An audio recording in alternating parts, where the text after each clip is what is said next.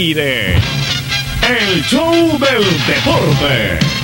A partir de este momento, los invitamos a tratar los temas de interés y lo más importante del deporte de Valledupar y el Cesar, con el comentario y el criterio del periodismo serio y objetivo. El, el show del deporte.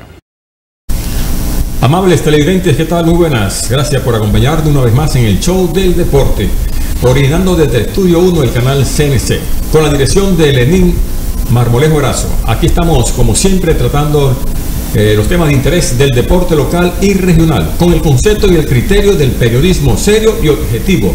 Soy Jorge Luis Gil, miembro de la Asociación Colombiana de Periodismo Deportivo, ACOR. El show del deporte. Gracias por acompañarnos una vez más. Estamos acá en el show del deporte, como siempre, para tratar los temas de interés de la región nuestra, en el campo local. Y esta semana he invitado a Rafael Rivera Carrasquilla. Él es eh, director técnico de El Tejo en Mayupari, en Cesar.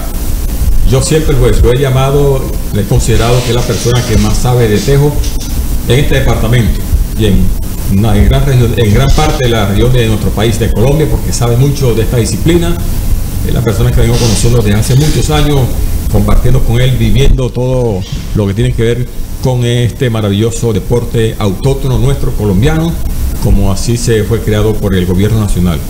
Patrimonio de la humanidad. Es un deporte autóctono nuestro que es muy bonito, que lo jugamos, aparte que no es que está bien elegante, nos ensuciamos las manos de barro para poder jugar esta disciplina. Rafa sabe, ya la historia se ha dicho cualquier cantidad de veces, ¿no? Los indígenas de la altiplanicie fundio-yacense jugaban este, este deporte con material de oro, ¿cierto? En ese momento, Así oro es. macizo. Antes de que llegara, lógico, la invasión española aquí a nuestro país, los españoles vinieron, se llevaron el oro, se lo robaron, ya esto lo hemos dicho varias veces, mucha gente por ya conoce la historia, vinieron a violar a las indígenas, mataron a los indígenas hombres y después se encargaron ellos de construir este elemento, este disco, ya en otra en otro material, aleación de hierro, acero, también lo hicieron con el material de riel de tren. Hay mucho material con que se ahora se juega el tejo, el disco. Ya el oro macizo, imposible, ya cambiaron también la, la historia, ya estamos en otra vivencia, en otra época, ya el oro vale mucho, ya no se puede coger para jugar el tejo. Rafa, muchas gracias por estar aquí, por aceptar la invitación del show del deporte, por acompañarme para hablar de lo que más te gusta a ti, una de las cosas que más te gusta, que es el tejo. Muchas gracias, Jorge Luis. Pues, pues para mí, darle las gracias a Dios primero que todo por permitirme estar en este prestigioso programa que divulga bastante nuestra disciplina aquí en nuestro departamento.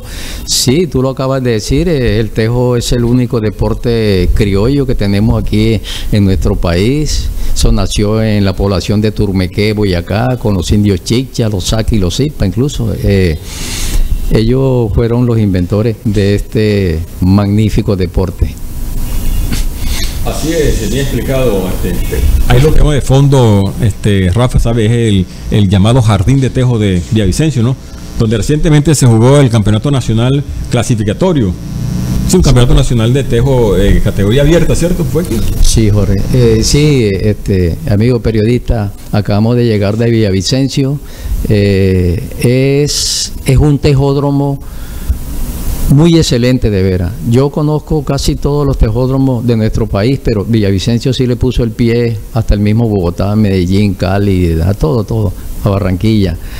Muy hermoso ese escenario, tiene 10 carriles y gracias a mi Dios, sí, el César estuvo compitiendo allá en las tres modalidades, como lo es por equipo, por dupla y puntaje individual. Gracias a mi Dios se logró todas esas tres clasificaciones para los próximos Juegos Nacionales que deben de ser en el eje cafetero. Este es el mes de noviembre, ¿cierto? Ya está clasificado. Ya tienen la, la nómina, va a ser la misma. Sí, de Eh, pronto algún deportista, Dios no lo quiera, se haya lesionado por X motivo no puede asistir, tendrán que buscar otro, otro tejista, ¿no? Así es, Jorge Luis, pero prácticamente ya la base de la, de la, selección está lista, ya se están haciendo los bobeos, pero así como tú dices, no hay alguna novedad que se presente y por lo tanto pues ya, ya hay de dónde echar mano, por ejemplo, de los, de los sub-25 que son obligatorios. Eh, toda selección de mayores tiene que tener dos sub-25 para poder participar y ahí es donde está una cierta duda de un jugador nada más. Pero ahí tenemos la base para reemplazar a ese deportista. ¿Qué tal el nivel técnico de los tejistas que participaron en este nacional abierto allá en la ciudad de Villavicencio, Rafa? No, Jorge Luis, eso, eso, eso es impresionante. Usted sabe lo que son 10 carriles jugando 10 selecciones de tejo, lo más granado del país colombiano. Imagínese eso, impresionante. Eso, eso, eso es un bombardeo. Eh, muy hermosa las canchas y, y se prestan para que salga buena embocinada, buenas moñonas, buena mecha. Eh, el clima, pues, Vicencio goza de un clima mucho mejor que el que tenemos nosotros aquí en Bayupar, pero no, no, muy... Eh, incluso yo tenía ya dos años que no iba a un campeonato nacional, a un clasificatorio, y me quedé impresionado con dos selecciones, Jorge Luis. La del Casanare. El Casanare tiene unos indígenas que meten tejo yo Primera y vez meten miedo. los Juegos Nacionales también. Primera vez que clasifican Juegos Sí, Nacionales, sí, sí, sí. Hazanare es primera vez y también me impresionó la selección del Huila que viene de un proceso de abajo hacia arriba. Incluso fuimos los, los eh, fue eh, Huila fue la piedra en el zapato para el César, pero gracias a Dios le pudimos ganar y lo sacamos de la competencia. Ah, O sea que William no clasificó para los Juegos. No clasificó. No clasificó, se quedó por fuera. Y otras selecciones, de, digamos, reconocidas, de talla, que quedaron por fuera, Rafa, que usted de acuerdo. Bueno, eh, yo O clasificaron todas las buenas. No, no, Luis. Y se presentaron 18 departamentos para clasificar 12. Y, y nos gustó pues la, la- la representación del Cesar, la que llevamos, porque de los siete departamentos costeños, el único departamento que clasificó las tres modalidades, o sea, por equipo, dupla y puntaje individual, fue eh, el Cesar. Entonces le pusimos el pie a Bolívar con una gran potencia, Atlántico por supuesto, Sucre ni se diga, Córdoba, Magdalena. Entonces Cesar tiene darse por, por bien servido de que clasificamos para los Juegos Nacionales. Eh, yo le paso una chiva, Jorge Luis. Los juegos son para el eje cafetero, pero a como van las cosas y ahora con la ley de garantía, me parece que el Tejo lo van a echar para Cali. Es una plaza que nos trae muchos buenos recuerdos porque en los juegos antepasados de los Juegos Nacionales, nosotros allá traímos una buena medalla para el departamento del Cesar. Entonces ya conocemos esos carriles, sí, y es un tejódromo muy hermoso, pero ante Villavicencio se quedó pequeño. Pequeño, correcto, sí. ¿Y por qué dice eso, Rafa? Ya hay indicios. ¿Cree usted que sí siempre no se va a jugar el tejo en, en- acá en el eje cafetero? Sí, lo que es el tejo, no sé, las demás disciplinas no, no puedo juzgar, pero, pero sé que el tejo sí va, va, va, va a cambiarse para Cali porque no está el tejódromo. Y usted sabe de que eso no se hace con 10 pesos. Entonces, entonces y, y- no, y, y- y- es que Cali es una de las de las de las ligas más pichichonas, diciéndolo así, de, de Fedetejo. Entonces, ahí va la mano untada también ahí. Sí, totalmente. pero Ahí entra la política también a, Sí, claro. entra también a marcar puntos importantes. Sí. De, hay las- y los otros departamentos, Rafa, que clasificaron, recuérdanos, a los Juegos Nacionales. Lo- de esto. lo- Lo de siempre. Eh, sí, eh, Cundinamarca. No, no, eh, yo de la costa, acá de la costa. Ah, de la costa, bueno, este Córdoba clasificó en una sola modalidad. Atlántico sí no clasificó en nada. En nada, absolutamente Su- nada. Sucre. Sucre clasificó en una modalidad también. Magdalena en una modalidad también. Y gracias a Dios nuestro departamento clasificó en las tres modalidades. A eso nos sentimos con un trabajo bien hecho, bien preciso, y ahí están los Claro, resultados. es importante, ¿no? Los otros departamentos, sí, ya lo de siempre, Cundinamarca, Boyacá. No, Valle sí, Cauca, claro, sí. Cundinamarca, Valle del Cauca, Boyacá, Norte. Eh, Santander. Fíjate tú, no, no, Santander. eh, Jorge, eh, Santander no tuvo recursos para mandar a esa eliminatoria. Otra selección que, que yo quería que fuera porque es unas selecciones nuevas que están haciendo los pininos, se puede decir así, eh, es San Andrés, tampoco hubo los recursos. Y ya tú sabes que ellos tienen que viajarse en avión y con estos pasajes sí, tan caros, correcto, entonces sí. se quedó San Andrés también. Es una lástima, sinceramente, ¿no? que esté pasando esto acá en nuestro país, donde con tiempo se hace la invitación, se prepara la gente, no se consiguen los recursos y, y que se queden que se queden deportes o deportistas sin participar porque no hay eh, recursos. Es lamentable, sinceramente.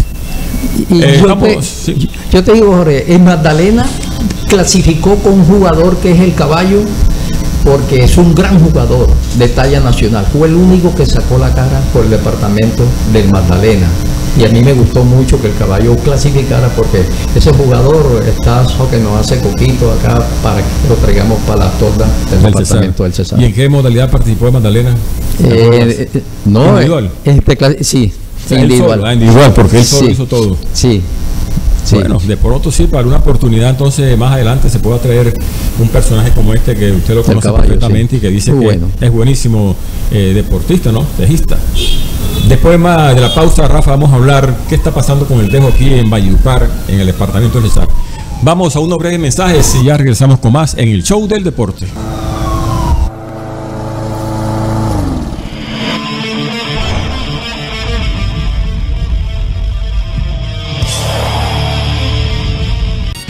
Soñaste con estas obras? Buses del sistema de transporte. Urgencias y hospitalización GEAT San Martín. Sena Étnico. Vía Pepe Castro. 22.000 estudiantes beneficiados con parques diversión con la primera. El gobierno de Mello Castro marca hitos de ciudad. Mello Castro cumplió y si pudimos salir adelante. Vamos para adelante. Vamos para adelante. Alcaldía de Valledupar siempre adelante. Oye, déjame contarte la historia de un verdadero campeón de la región.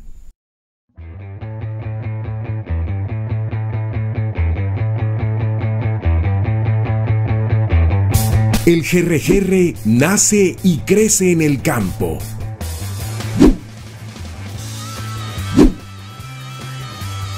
Enfrenta a la torrencial lluvia y también al inclemente sol.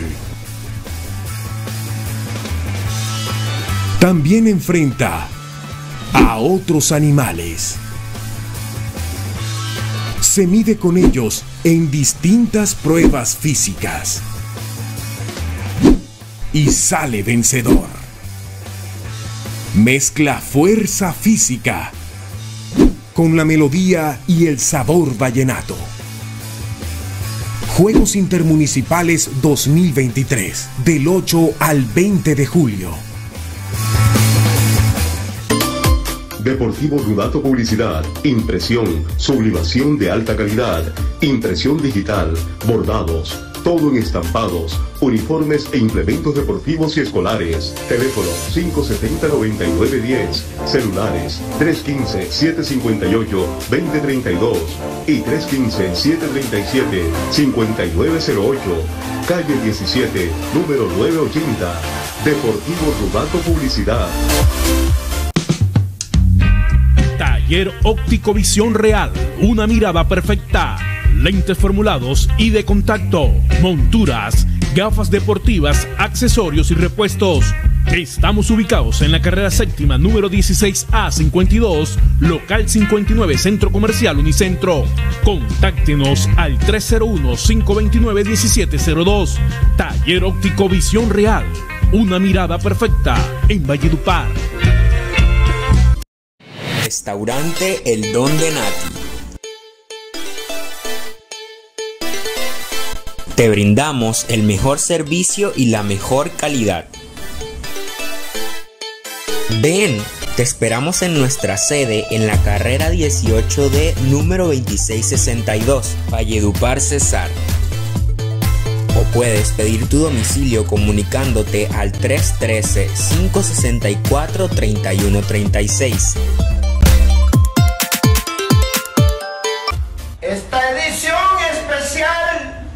A cuidar del medio ambiente siempre lo tendrán presente, señores, aquí el César. El show del deporte.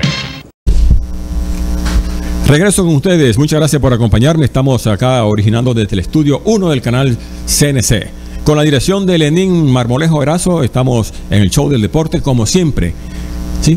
Eh, con el concepto y el criterio del periodismo serio y objetivo tratando los temas de interés del deporte local y regional. Lo que nos interesa acá, lo que tiene que ver con nuestra ciudad, con nuestro departamento, básicamente lo hacemos acá en nuestro, en este programa, el Show del Deporte. Por eso he invitado acá a Rafael Rivera Carrasquilla, que es la persona que ampliamente conoce muy bien a profundidades el tejo del departamento y a nivel nacional, tanto en lo ancho como en lo largo, en lo profundo. Este es Rafael Rivera, conocido en el argot popular de este deporte como el faraón el faraón del Tejo, Rafael Rivera Carcel. Y le pregunto, Rafa, ¿cómo está en este momento el nivel técnico, el Tejo de nuestro departamento aquí en Bayupar? ¿Qué se está haciendo con el Tejo nuestro? A ver. Bueno, Luis, para nadie es un secreto que, que aquí hay muchas disciplinas que, que hay que meterle más recursos. Yo no hablo solo del tejo, está voceo, está atletismo, está el mismo tejo, he dicho. Entonces, para, para crear escuela hay que invertirle algo. ¿Qué le he propuesto yo a los directores de, de, de, de las oficinas municipales y departamentales aquí? Que, que vayamos a los colegios a impulsar el tejo en unos niños de, de 10, 11, 12, hasta 13 años. Con ese tema, ahí buscamos el semillero que nos puede reemplazar a nosotros, porque no nos echamos mentiras, ya uno, ya uno va doblando la esquina ya y la visibilidad no es igual y el pulso no es igual. Eh, 15 años atrás, aquí en Bayupar se hacían campeonatos intercancha y sacábamos sacábamos 25 equipos, por decir algo, 20 equipos. En hoy en día no salen más de 5 equipos aquí en la capital, eh, sí, aquí en la capital. Entonces se ha ido extinguiendo el tejo lentamente, lentamente. Y a como vamos a ir a, a desaparecer. Sí, es la verdad. Pero eso, es un, eso es un trabajo, disculpe Rafa, que tiene que hacer la liga. Sí. Los directores de la liga, los directivos de la liga tienen que ir a donde está el plantel, los planteles educativos. Yo siempre he dicho, allá donde está la, eh, la masa, a donde está el material humano, son en los colegios, en las instituciones educativas. No solamente para el tejo, para todas las disciplinas deportivas, echarle mano a las instituciones educativas, allá en los planteles educativos, donde está el material humano, donde en un colegio puede haber mal contado 2.000, 3.000 estudiantes y algunos deben servir para algo. En alguna disciplina, tanto en el fútbol, llámese baloncesto, voleibol, pero hay, de- hay que salir un talento de esos 3.000 estudiantes que tenga cualquier, cualquier eh, cualquier eh, escuela, institución educativa. Ahí debe salir algún jugador y alguien que de pronto también le guste el tejo. Porque, o sea, el tejo tiene que gustarle a alguien, ¿por qué no? Entonces ahí hay que invitarlo y comenzar con las escuelas. En este momento no creo que haya, ¿no? La Liga de Tejo tiene escuela, Rafa. No, Jorge Luis, mira, lastimosamente no, no han nombrado, no han nombrado un, un instructor de tejo para que se dedique exclusivamente. Así como lo dije, eh, esto, eh, mira, ve, para mí el tejista no nace, el tejista se hace, hay que hacerlo. Yo pongo esta comparación, un niño cuando está dando los pasitos, lo primero que le compran es un baloncito a que lo patee. En cambio, el, el tejo no, el tejo hay que hacer al tejista. Entonces vamos, vamos a hacer las escuelas, Hay que buscarlo. las escuelas, Jorge Luis, porque de veras estamos, estamos mal así. Una golondrina, eh, ser deporte tiene un entrenador nada más. Entonces, un solo entrenador no puede hacer tejo en todo el departamento. Aquí tenemos potencia por el sur. Yo conozco bien a mi departamento, el Cesar. Ahí está Huachica, está San Alberto, está San Martín, está Codazzi, está Bosconia. Por Dios, ahí hay grandes talentos, grandes tejistas, pero como no nos trasladamos allá, entonces, ¿cómo hacemos para descubrirlo? Por favor. Está perdiendo esa oportunidad de que César tenga una buena representación y no tener que buscar eh, jugadores de otro departamento. Llamarlo para que representen a nuestro departamento y yo pienso, nunca he estado de acuerdo con eso. La verdad es que no, aquí hay que hacer la, hay que hacer la figura. Y como usted acaba de decir, Rafa, el tejista se hace, no nace, hay que hacerlo. Pero hay que comenzar desde las divisiones inferiores, desde las escuelas, de la formación, para que se vayan formando estos tejistas también, se van enamorando de esta disciplina que sé que le va a gustar, porque es muy, muy, muy bonita, muy, muy divertida. Yo de la primera vez que cogí el tejo que lancé me ha gustado y como le digo, se ensucia uno las manos, la ropa, todo. Yo uno en la casa, me he dicho, sucio de, barro. A veces uno sin querer que no se va uno a, ajustar la, la sudadera, la gorra si la tiene y le va a ensuciar porque tiene las manos sucias de barro. Pero bueno, pero así es este deporte y, y es bueno jugarlo, me gusta. Este, mira, Jorge Luis, yo, yo por ejemplo, yo te, yo te digo esto, yo estoy haciendo tejo en Media Luna, en Villanueva, en, en La Paz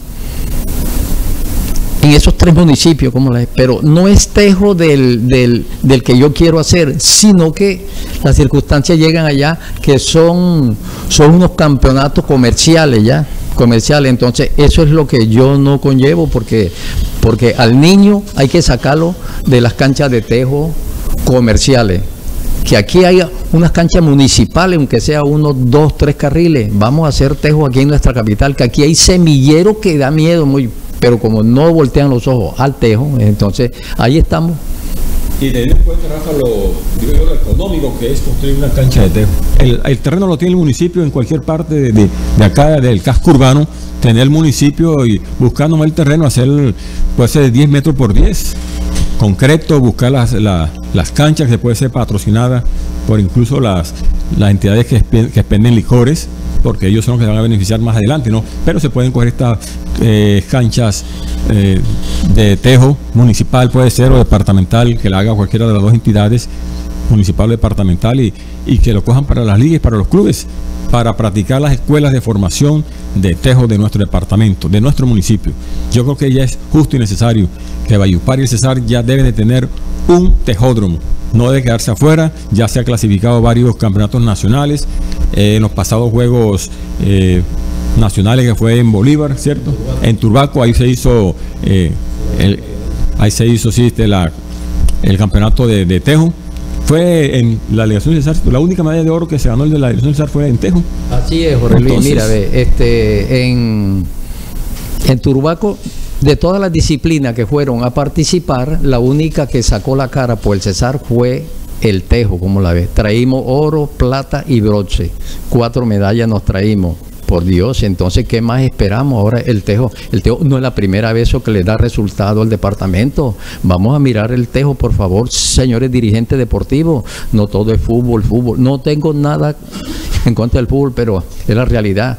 Ahí está eh, el alcalde saliente, hizo una cantidad de canchas, me dicho aquí en Bayupar, ni un carril de Tejo siquiera, por favor. Yo lo invito a que Miren al tejo, que es una disciplina sana, familiar, no hay esos problemas que hay en otras disciplinas, que hay sangre, hay, hay esos rencores, no, es nuestra disciplina autóctona y que nombren un personal para que hagan tejo en las escuelas de Bayupar, aunque sea si no quieren hacer en todo el departamento. Así es, razón.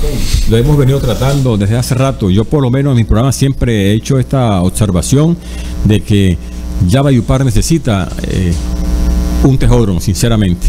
Que debe llamarse pronto Cacique Upar. ¿Por qué no? Si, eh, como, como nuestra ciudad.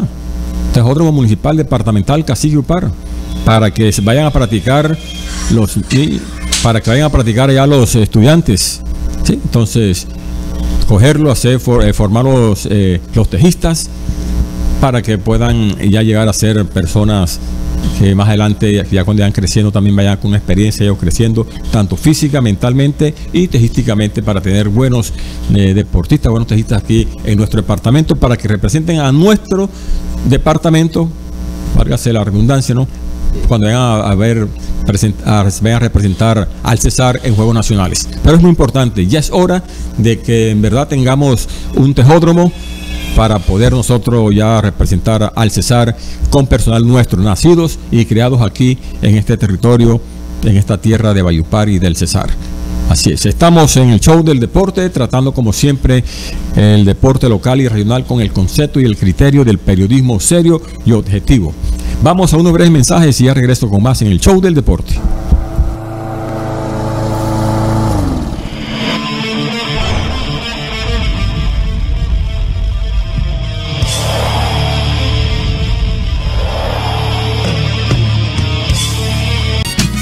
Soñaste con estas obras? Buses del sistema de transporte. Urgencias y hospitalización GEAT San Martín. Sena Étnico.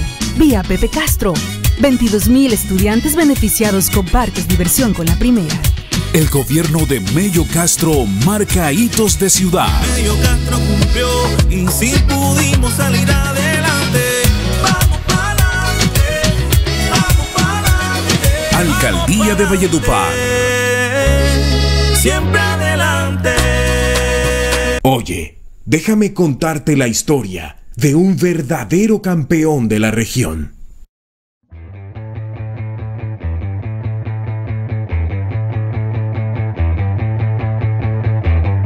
El GRGR nace y crece en el campo.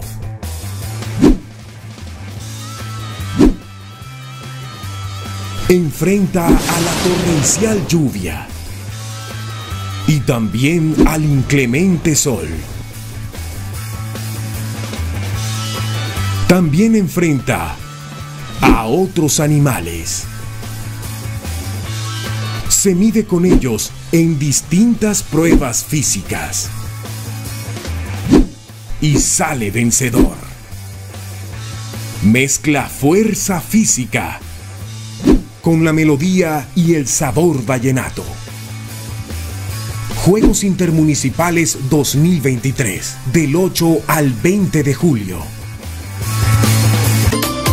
Deportivo Rudato Publicidad, impresión, sublimación de alta calidad, impresión digital, bordados, todo en estampados, uniformes e implementos deportivos y escolares. Teléfono 570-9910, celulares 315-758-2032 y 315-737-5908, calle 17, número 980. Deportivo Rudato Publicidad. Esta edición especial va a cuidar del medio ambiente, siempre lo tendrán presente, señores, aquí el César. Taller Óptico Visión Real, una mirada perfecta. Lentes formulados y de contacto, monturas, gafas deportivas, accesorios y repuestos. Estamos ubicados en la carrera séptima número 16A52, local 59, Centro Comercial Unicentro. Contáctenos al 301-529-1702. Taller Óptico Visión Real, una mirada perfecta en Valledupar. Restaurante El Don de Nati. Te brindamos el mejor servicio y la mejor calidad. Ven, te esperamos en nuestra sede en la carrera 18D número 2662, Valledupar Cesar. O puedes pedir tu domicilio comunicándote al 313-564-3136. El show del deporte. Gracias por continuar con nosotros una vez más. Estamos en el show del deporte, originando desde el estudio 1 del canal CNC. Me acompaña Rafael Rivera Carrasquilla, el faraón del Tejo. Él es la persona más versada para hablar de esta disciplina aquí en Bayupar y en el departamento del Cesar. Por eso lo he invitado para que continuemos hablando, Rafa, de El Tejo. Lamentablemente, pues sí, no tenemos aquí las condiciones, la infraestructura para tener, eh, para sacar buenos tejistas. Desde las bases, desde las escuelas, porque no hay escuela de formación deportiva prácticamente, no podemos decir eso, que no hay escuela de formación deportiva. Más si me supe por acá que me habían dicho de que ya habían comenzado las escuelas, pero el Tejo no tiene. No, eh, eh, Jorge, lo que pasa es que estamos, estamos esperando que, que la Secretaría de Deporte nos haga un llamado para, para uno ir a los planteles, así como te dije, eh, porque ahí donde está el semillero hay que comprar la herramienta para poder jugar a los niños. Eh, lo otro, eh, eso no necesita una cantidad de, de- de dinero tampoco, sino ir a los planteles que nos den 40, 50 niños de esos en las horas de deporte y en el mismo plantel llevar los, los la cancha portátil, correcto. Eso no, eso no vale mucho, pero ajá, eso, eso lleva un tiempo y, y hay que hacerlo porque si no, no, no, no encontramos el semillero que nos va a reemplazar a nosotros ya, los de eh, Valla. Esto es función directamente de la Liga de Tejo del Cesar o también lo puede ser directamente a la Secretaría Departamental de Deportes. No, pues la gestión la tiene que dar la liga La liga. también, lógico, porque es la rectora de, del Tejo del departamento. Plan- hacer ese Entonces, planteamiento a la Secretaría. Claro que ideas, sí, claro que sí. mira, vamos a hacer esto, necesitamos Claro, esto, claro colaboren que sí. este, ok. Estamos en eso, pero ya, ya se está acabando el año y, y tampoco eh, vamos a hacer nada por el Tejo este año. Sí, yo creo que, es no. Hay que ser vamos a- sincero, ya no se puede hacer nada, ya la ley de garantía prácticamente ya está a la puerta de la esquina Sí. y, y esto pues no sé de qué ha servido la ley de garantía para de pronto quitar la posibilidad de hacer otras cosas en- durante estos dos, tres meses que son durante ya las elecciones eh, regionales, ¿no? Ya vienen las elecciones de alcalde, gobernadores, concejales y diputados y se han inventado esto en Colombia y que para acabar un poco la corrupción. Pero que va, siempre se hacen cosas.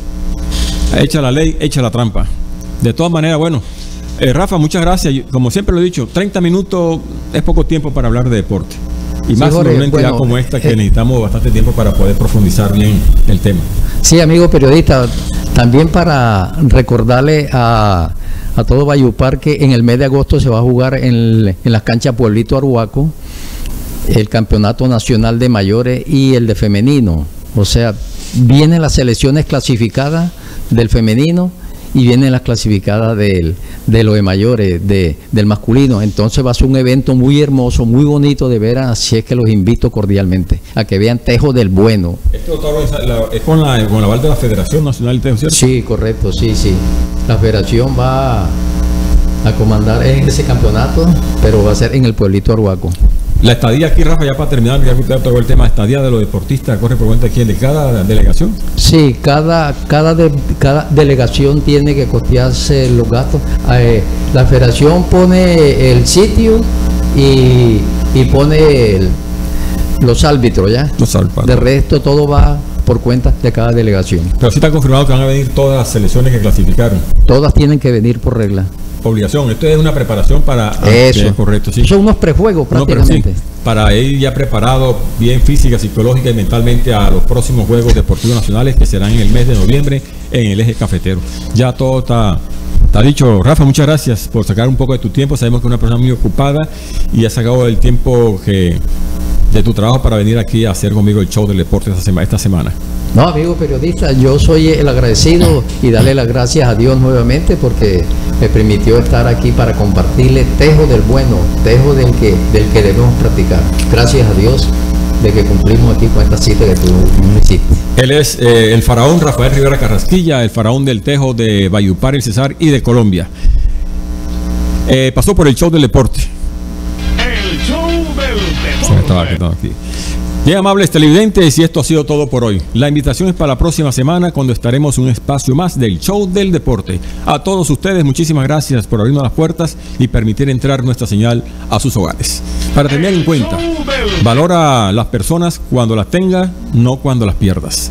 Muchas gracias a todos ustedes por la sintonía. El show del deporte.